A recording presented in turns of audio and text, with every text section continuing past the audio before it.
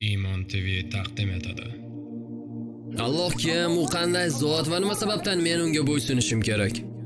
Alloh azza va jalla borliqning qiroli, yer osmonlarni, koinotlarni yaratguvchisidir. Alloh butun borliqni, mavjudotlarni yaratguvchisidir. Siz ko'ra oladigan va ko'ra olmaydigan mavjudotlarni yaratguvchisidir. Butun borliqni yaratgan zotdir u. Butun borliqni mavjud qilib turguvchi madadkoridir u zot. U zot barcha narsalarni ko'rguvchi, butun borliqni eshitguvchi, har bir zarrani ko'rguvchi.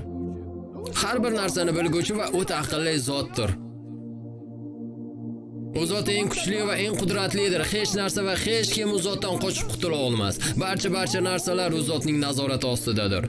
Alloh hech qachon charchamaydi, u zotni hech qachon mudroq bosmaydi, u zot hech qachon tinmas. Kim ekan Alloh? Alloh yer osmonni butun mavjud narsalarni yaratguvchisidir. U zot men bilmagan narsalarni bilguvchidir. U zot men ko'rmagan narsalarni ko'ra olguvchidir. Butun borliq u zotning nazorati ostidadir. Alloh hech qachon zerikmas. Alloh hech qachon nima qilish kerakligini bilmay qolmas. Butun borliq batamom zotning nazoratidadir.